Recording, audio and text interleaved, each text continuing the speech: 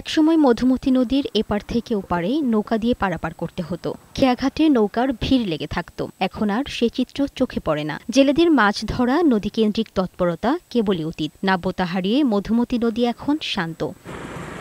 স্থানীয়দের অভিযোগ, দীর্ঘদিন খনন না করায় নদীর তলদেশে পলি ও বালু জমে ভরাট হয়ে গেছে। বর্ষাকাল শেষ না হতেই পানি শুকিয়ে নদীর তলদেশ পর্যন্ত চর জেগে ওঠে। সামনের দিকে প্রচুর চড়া পড়ছে যার ফলে নদীতে সেইভাবে ট্রলারই চলাচল ঠিকমতো করতে পারে না। দিন দিন চড়া পড়ে যাচ্ছে মাটি এসে ভরে যাচ্ছে।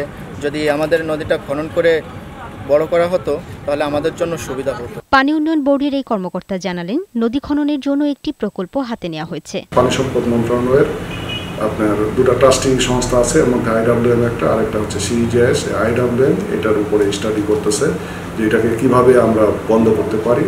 অথবা নদীর গতিপথটাকে কীভাবে আমরা কনফাইন করতে পারি। যদি এটা আমরা কনফাইন করতে পারি, সেক্ষেত্রে চর পড়ার যে প্রবণতা, সেটা হ্রাস হ্রাস পাবে। নদীর পানি কমে যাওয়ায় পেশা পরিবর্তন করতে বাধ্য হচ্ছেন অনেকে। তাই নদীর গতিপথ ঠিক করতে খনন শুরু করার দাবি তাদের। ডেস্ক রিপোর্ট, বৈশাখী সংবাদ।